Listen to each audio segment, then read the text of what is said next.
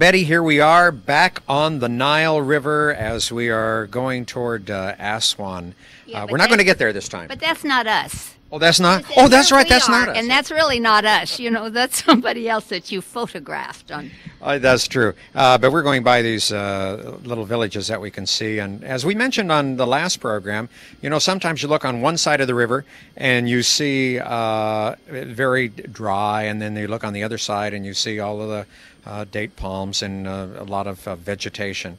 And so we get to see a lot of this here. But, you know, uh, where we left from was the town of, of Luxor. And um, I, I wanted to mention that that was named Thebes uh, in the in the early days, the, the early days of uh, of the exploration there, of course, of the the Romans and the Greeks. But Thebes was the great capital of Egypt during what they called the New Kingdom, and it was a crowded city. It stretched along the Nile's eastern bank in an area extending between the present little town of Luxor and its suburb Karnak, and uh, that's about 500 kilometers south of uh, Cairo, which is now, of course, the capital.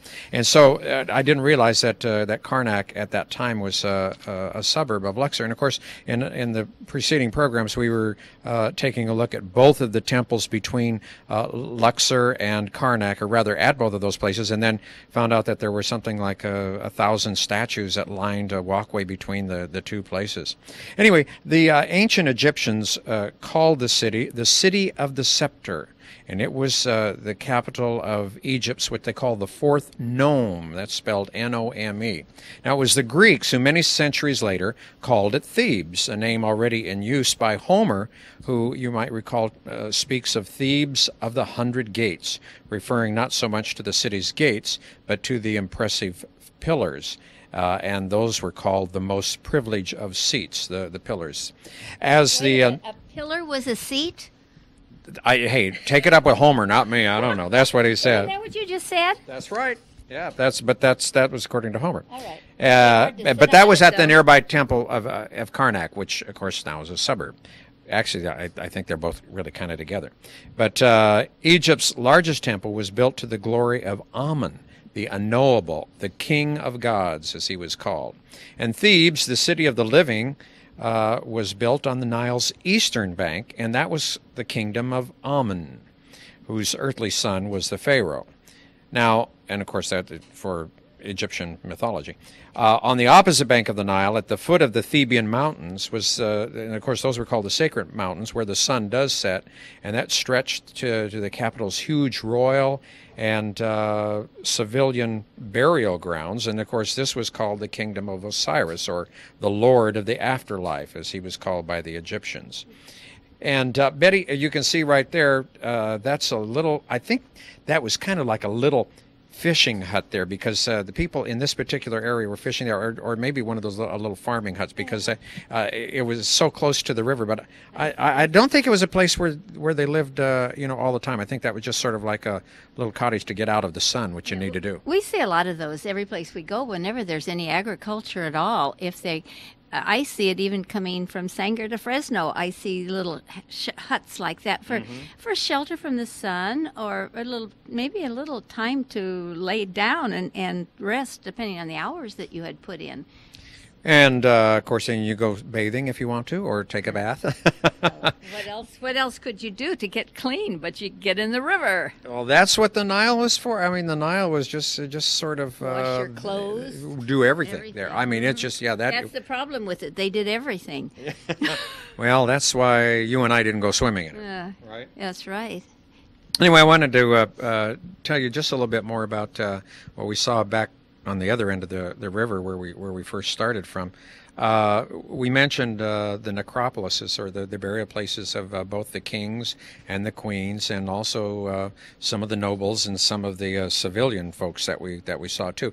And I want to mention again too that the paintings that we saw uh, in the tombs that we were allowed to go into are really considered some of the greatest artwork of all time. And what amazed me was that the colors were so vibrant and so bright, and that you could, uh, I mean, today, you know, like 3,000 years later. Yeah, but So- what makes them the greatest of all times? Is it because of the accuracy or the artistic value of them for that long ago, or what? You're asking me? Yes, sir. You just told me that, that that's what they were. Well, and and that's But you that's always have to back up your statements. If you make a statement, Uh-huh. then you have to be able to give the facts for that statement. okay. Well, I will have to defer to uh, one of the books on uh, on Egyptian history. Okay. right. Oh, thank now it may, may have been a little prejudice. I don't. But you know, I do have to agree with that. I mean, at that time, that th- those were. Uh, have you seen any other paintings from three thousand years ago? I haven't really. Well, I've I've been very cognizant of the fact that that they the women, oh, I suppose men too, though they were absolutely beautiful. Uh, their aquiline noses and their slanted eyes. I I really really think they were beautiful, beautiful people. I think they must have been a very handsome people. That, that that's very true. This is the ship that uh, that uh, we sailed on the Nile, and this is uh, part of the upper deck. And we saw there's a little small swimming pool right there. And if you look behind us, there comes another one, and another one, and another one. There was pretty busy, uh, pretty busy for the tourists, weren't And it? yeah, and did you notice the little putting green that they had up there? It wasn't. It really wasn't. It was. I think that was just astroturf to walk imitation on. grass. Yeah, to bring a little life to it or whatever. No, but I noticed who was getting afternoon tea right there. Chow time. Oh yeah. And and I have to say, their food was absolutely excellent. We just had such a marvelous time. Betty, uh, you know, in talking about the history of, of Egypt, uh, to kind of break it down a little bit, they, they they had what they call the Old Kingdom, the Middle Kingdom, and the Second inter, Intermediate Period. Now, that sounds a little confusing, and it is a little confusing because uh, the Old Kingdom were the years from 2658 to the year 2150. Now that's BC. And then the, the first intermediate period was considered 2150 to the years 2100 BC. The Middle Kingdom, 2100 to 1750 BC. And the second intermediate intermediate period, whoo, gets confusing. It was uh, from 1750 to 1550 BC. Yeah. So what? Well, it was important. I mean, if you were, It was to them, of course. of course, if you lived during those times, I mean, you wanted to know, you wanted to know where you were, right? I know. I'm just pulling your leg because uh, when you start spouting off dates and things, it kind of goes in one ear and out the other. You know, I thought if it's the time that I'm living in, or is just shortly before, you know, maybe like a thousand years well, AD. AD. then it means something to me. But I think truly, as you, I, I'm joking, of course, but I think as you did tell us about how far back all of this civilization goes, it surely makes you insignificant. It does, doesn't it? Mm-hmm. It really Yes, does. yes. Well, I'm, I'm going to explain it a little bit further. Okay. All right. Here we go. Now, the new kingdom from the years 1550 to 1076 BC. This was considered the 18th dynasty. Okay, and that was started by Othmosis. And- Osmosis? no, no, no. I, it's, spe- it's spelled A H M O S I S. Oh, okay. And that goes, I mean, and he was the father, I'm not going to get into that lineage, but genealogy. yeah, but anyway, remember we talked about Queen Hatshepsut? Yes. Oh, yeah. Okay, she was right. the gorgeous gal. Yeah, well, she came along between the years 1479 to 1457 BC. And she was of the New Kingdom in the 18th dynasty. Now, let's jump over to the 19th dynasty, and that was started by Ramesses the First, and that was the year 1295 to 1294, again in BC. Okay, and then let's jump to the 20th dynasty, which is 1188 to 1076 BC, and that ended as, uh, from what my research says, with Ramses the 11th in the year 1098 to 1076. All right. Now, excuse me. It- It ended. Now, and then what? What came after that? I mean, it. it it, the time went on. I mean, they didn't just disappear. What? No, that's when you got into the third intermediate period. Oh, okay. Okay. All right, that's fine. Well, listen. Then it jumps on and it goes down to the to the Greeks and the Roman, and their period was considered 332 BC to 395 AD. Okay. Okay. So we finally jump across Boy, those the line. those Romans got around, didn't they? Oh, they did. They did. It was incredible. Uh-huh. This, this is a good way to get around, and I don't know if that was a water buffalo or just a cow out there. I couldn't see; it was a little bit too far away. Almost looks like rice paddies there, doesn't it? Yeah, it's so green. I was see. I look at that and I think a little bit of China. Mm-hmm. You remember when we went down the Li River? Oh, do I? And we saw the water, and we saw the bu- uh, buffalo, buffalo? water Mhm. buffaloes, and people washing their clothes. I think it, there were more cliffs and things in the background there, though, and it wasn't quite as wide, but it's very, very similar, many similarities. Yes, uh, there there are, and uh, of course, as we know, you know, any any river like this of ancient times, and even today, uh, I mean, these are the lifelines of these particular areas, and we can see that again. Here we have people not only fishing but also bathing out here too, on in one of these little boats, and uh, you know, I, I sometimes wonder what some of these people who live there, you know, all the time, think of when they see these great big uh, tourist boats with all the tourists hanging over the side with their with their cameras and their video cameras, clicking and shooting away like that. Well, I know what they think. They What? think money because uh, they're like the little kids; they'll dive for it. And one of the places we stopped, and I'm sure you we have it on tape somewhere, they had clothes in those little boats and proceeded to sell them to us. So we were a good economy for them. Well, economy, uh, yes, that's that's true because tourism is you know is a big big part of the Egyptian economy, and uh, so we are going to show that. It's interesting that you had mentioned that because a little bit later on in this show we're going to do that. There are s- that we were we were we were told about this, but and they said now you you watch because there are going to be some people here that have all sorts of clothing and tablecloths and everything to uh, to sell, and uh, you can buy that. We thought, well, how in the world do you do that? We don't get off the boat, but you wait and see. It, it yeah, it, it it happens because uh, I think the Egyptians are are very very good uh, merchants. They certainly are. Entrepreneurs, huh? You know, when there is a way to make money, intelligent people find it. Uh, I don't necessarily shouldn't say intelligent people, resourceful people find a way to make it, and it's out there for everybody if you just get the bright ideas. Marv, let's get some bright ideas for Channel 49, and we do our best, don't we, to make. Yeah, maybe we can maybe we can get a boat and go down the Kings River. Think any Sell think you sell sell- anything off of that? I don't think so. With my luck on rafting, I'd end up under the raft. No. Well, uh, you didn't you didn't have to worry too much on this on this particular trip. This wasn't like uh, Costa Rica where we where we went whitewater rafting and uh, oh boy, that was that was something. will stay with me for a long, long time. Uh, this is one of the crew members on the uh, on the ship here, and, and and this is going to tell you something. Now he's tying those uh, those floats or those bumpers. They're you know right next to uh, to the ship there, and I, and I kept wondering, now why is he doing that? We're not we're not scheduled to dock right away anywhere, but uh, actually as we got a little further down the river or up the river, I should say. Uh, we find out that, and here we are, we're, we're close to civilization. I thought, oh, okay, this is where, maybe we're going to stop here and get off. But no, that was that was not the case. It was that there were going to be a lot of other uh, tour ships uh, that were going to be right here in the same proximity of where we are, and so as a result, uh, I guess they wanted to take some precautions just in case uh, these ships would, you know, bump up against one another. And we can see why, because Betty, we are getting to that area right now that you just mentioned a little bit ago, uh, where the people are going to get out. And uh, in fact, there's a few of them that are out there already. But as soon as these uh, ships come up and they, you know, drop their anchor for a little bit, wow! I mean, they were just all out there. But before we get there, we can see uh, one of the other accompanying ships that's. Uh, in fact, it looks like it's going to pass us up a little bit right Yeah, here. And I was mad. You know, Why? that's like when you're driving on the highway and you, somebody cuts in front of you, and you, oh, like, that really aggravates me.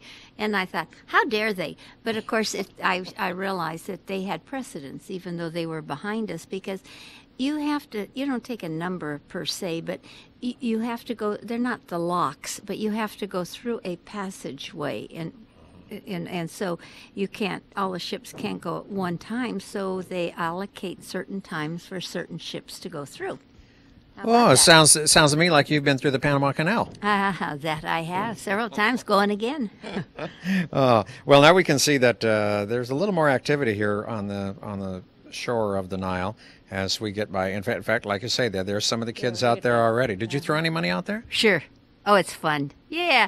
And, when, and even when we were in China, we would get all the little uh, boxes of lemonade and orange juice that, that were gift, you know, that we had for our use, and we would toss them over to the kids. And oh man, it was just a holiday Christmas for them. Big, uh, they just loved having the little gifts like that. Was a big treat. Well, this is uh, this is a big treat for us too because uh, this gave a lot of people a chance to uh, uh, to purchase uh, uh, some of the things that they had been looking forward to uh, to getting. and it was really nice because you didn't have to get off the ship. I looked, but but I'm sure you'll see it in a little while. They throw the things up on the deck, and it is it's hairy. It's just ridiculous. People leaning over to try to catch a dress. They don't. I mean, golly, they could fall right over. But it just it was the excitement of the game. I think so. And now you can see some of the other uh, cruise ships that are out there, and then here here come the folks out with their uh, out with their little boats. And uh, my golly, you know what surprised me is that they had all sorts of different types of things for sale. And uh, the first word that you heard out was "hello, hello," and uh, and and how, and then the you heard the response from the tourists: "How much? How much?" Yeah, yeah. But you see, and it was a little bit breezy that day. Do you remember? Well, we could see the flags as you took a picture of Yeah, the it flags, was, so yeah. it was breezy. But look at the balance that he's been able to maintain, showing all of us. See that there's one of the types of dresses that they were selling. They were sort of like something that you would wear for evening, you wear to a costume party, or you know, nothing real elaborate. Well, you were looking for a pair of pants or something like that, weren't you? I mean, a long pair of uh, real colorful things. I would have liked to have bought something. No, I really want something like they wear, the kind of the roby things that you just tie around your waist that are so comfortable. Mm. Yeah, I would have liked, but I look. It's fun. I look at everything. Why miss it? I'm. I don't miss a trick when it's come to something like that. It's part of traveling. Yeah, uh, what amazed me is that they, you know, they put these things in, in plastic bags and then, then tossed them up, and a couple of them actually wound up in the swimming pool of the ship that we were on. Yeah, and then we just tossed them back when they said no. Look at, look at, look at! Isn't that cute? oh my word! Several ladies bought one of those when I went on shore. Uh, I, I I was watching them doing their shopping, and they were very sexy. The the see the little garment that they would wear. So I guess you'd want to wear a mask to hide your face if you wore that skimpy a dress.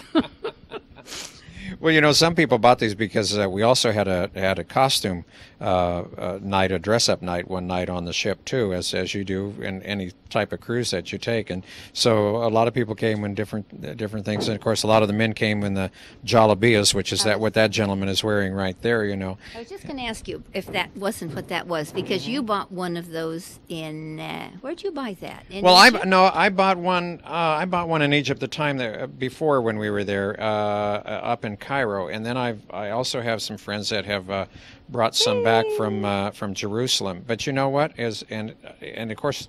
I thought, hey, that's that's really great because the cotton in Egypt is so good. great. But I, I I looked at some of those that uh, were purchased in the Middle East, and guess where they were made? in, E- in Egypt. China. In China, oh God! Well, this is what they say: all the things you buy today, you have to turn them over carefully and look at them because the majority of things. Well, you know why? Of course, labor is so cheap. So we're actually promoting it when we buy things stamped in China. Now that's pretty, isn't it? Yeah, that was that was pretty. It was such a pretty color. But uh, know, the thing, see the trees. Now watch him. He, he rolls it up, puts it in a little plastic bag, and tosses it. And you really never know just exactly who it was that that was going to be for. I know. And This and now there were several ships, as we mentioned, that, that are here. So these little merchants are going from one to the other. If they didn't make a sale one place, well, you know that they're probably uh, you know going to make it in a going to make it in another place there. I'm not sure what it cost. I think they they, They were averaged- bargaining. They were all yeah, bargaining. you could you come down with it, but I think the average price was around eight dollars. Now that's not bad. No, no, there was a lot of handwork on some of them, but then you saw some that didn't have anything on them but a little lace and sequins. Mm-hmm, mm-hmm. Well, up there goes one back down. That, that was a reject. Oh, there goes There's another, one too. see. Yeah. Very honest, the people on the ship. They would never keep anything like that. They would immediately return it. Now, there's your pretty tablecloths. Trouble with that, you know, they are, and it's an unusual design, but you do want to feel it. I mean, and we know Egyptian cotton is world famous. But you want the good quality, if and, and you know some things are very sleazy. You would it's not worth putting them in a suitcase. Well, that's why I think that uh, they were throwing them up there on board so that you could, uh, you know, you could you could actually sample the Oh, I merchandise if you want one. to. I thought you want that, that, one? black and gold. I thought that was attractive, and then I said to myself, "Where would you ever wear it? You wear it to, to church on Sundays?" I don't I think don't so. so. Oh, but th- this this look at I, I, I like the animation of the guy. You know, I, these guys are real Oh, look at those were pants. You told me that I had thought I had been looking. I didn't mm-hmm. realize until I see them that they were pants, but I, I didn't want them anyway. you I don't know. You you know maybe you could have worn those to work. I mean that would have uh, that that would that would have been something. You think that would have been all right? Sure. Wear them with my tennies. No, I don't wear tennis shoes really, but uh, no, no, no. I'm more conservative than that most of the time. Well, now how about this one in red? Isn't this pretty? Uh-huh. Well, do you remember at the party how many we did see of the women that had bought these dresses? Didn't come prepared to to be fancy, and you know you don't need to be on these ships. They all have costume parties. I noticed that even with the Panama Canal on the big ships, the big liners, and it has costume party. But you know, it's not like it used to be. Uh, maybe those that really first class, first, first, first class Well, I- people do. No, I, I think you're right. I think uh, because uh, cruising has become so popular, I think when they, you know, originally, uh, when you only had ships that were going across the Atlantic Ocean, and then you had a dress-up party, and I think they needed that probably for diversion. If you, yeah, really. But uh, today it's just sort of a, you know, just sort of a carry-down. I think of, uh, of of days past, but it is kind of fun, and and some people really get into it, and uh, and of course this was great because, like you say, for about eight bucks you could buy a, a costume, and then you might take it home and wear it some more. Oh, well, I don't recall you wearing a tux. You didn't bring a tux when you went. No, oh, I've never. I did one time, not on a cruise like this. oh, Excuse not me. Not on this kind. No. No, no, no, no, no. Because it, look what everybody's Then wearing. you'd wear a white jacket. Everybody's wearing bathing suits. well, they didn't to the party. No, no, no. But I mean, this was this was it was so warm going down the river or up the river rather. See, now you got me doing it. I got don't know which way we were going, I'm up or a down. Bad influence. I will admit, I am a bad influence. But uh, anyway, uh, no, I, I, on a cruise I took several years ago. I uh, actually, now that I think back on that, a couple of cruises I did, I took I took formal wear, but that's been a long, long time ago. And one of those was a transatlantic cruise. Okay, but that's when two. It was two weeks or so in the in going across, and uh, uh, I well you and you took a lot of suitcases. You took trunks. Today you ta try to take one suitcase and a carry on and put them all together. That's right. I don't That's know right. whether Dale bought anything there or No, not. this was a d- gentleman. This was an English gentleman that uh, uh, uh, that some of our uh, people became very friendly with, and uh, he, I think, he purchased that for his wife. And guy uh, with the hat on, you mean? the the, uh, the guy with the hat and the cigar. Yeah, well, because I was saying, well, I know that's Dale. He's not an Englishman. He's a Fresnan. No, there were a there were a lot of people on the uh, uh, on the ship from, of course, from uh, from various countries. There, a lot of English uh, do take this uh, trip as well. I Yes, met Eleanor. I met some from, from England as well. Eleanor Brewer, one of ours, right there hanging onto the rail. She was looking over the clothes. I don't think she bought anything, though. they were just in and said what a wonderful trip it was. And it was. It was a good trip. That wa it was a marvelous trip, and uh, someday perhaps we'll repeat this trip again, uh, uh, doing the Nile cruise and also visiting Cairo and uh, Aswan and Abu Simbel and Karnak and uh, Luxor, Thebes as it was called. Uh, it, it was it was a truly amazing adventure. It was something that I had always wanted to do. We'd been in Egypt before. Uh, we had driven across the desert from Israel into Egypt, but on this particular trip, of course, uh, this was uh, this was a cruise designed around a cruise, which was lots of fun. And of course, then we got uh, to see the the antiquities. You have to you have to travel. Uh, a ways from Cairo, as we were doing. You Uh, see a lot of the antiquities on the ocean liners. Were you talking about the personnel, the passengers? guests. oh, Well, you can do that on some. That's true because they're the people. Oops, there it goes. that's not. nice. there it goes. Shame on me. Well, no, but uh, you have to be realistic. I mean, you know, eh, now there were a lot of young people on this on this cruise too, but uh, of course, older people who are retired and have the money and that can you know can take the uh, can take the cruises as such. I think these guys were just about ready to get getting ready to pack it in. You know. I think we were about our ship was about ready to leave too to continue on, but they'll wait there for another one to come through and continue this. What energy they have! I, I, I have such admiration for people that get out and try to make a buck any way they can, and to to provide for their families and for themselves. It's great. It's just really neat. It is. It is neat, and it's it's it's nice that uh, that there are so many tourists there that uh, we're able to, you know, help the economy somewhat. And uh, this lady, I was, I was asking her, I said, did, did you buy that? She wasn't quite sure whether the, the size was right or not. And that, that's it. So I think she's going Gonna send it it back. back? Yeah, Yeah, yeah, send it back. Hey, do you have a, you've got a larger size down there for us? But I tell you There's one in the pool. That's a remember I told you Oh, one yeah, landed in the pool, but it just floated. It didn't even get wet.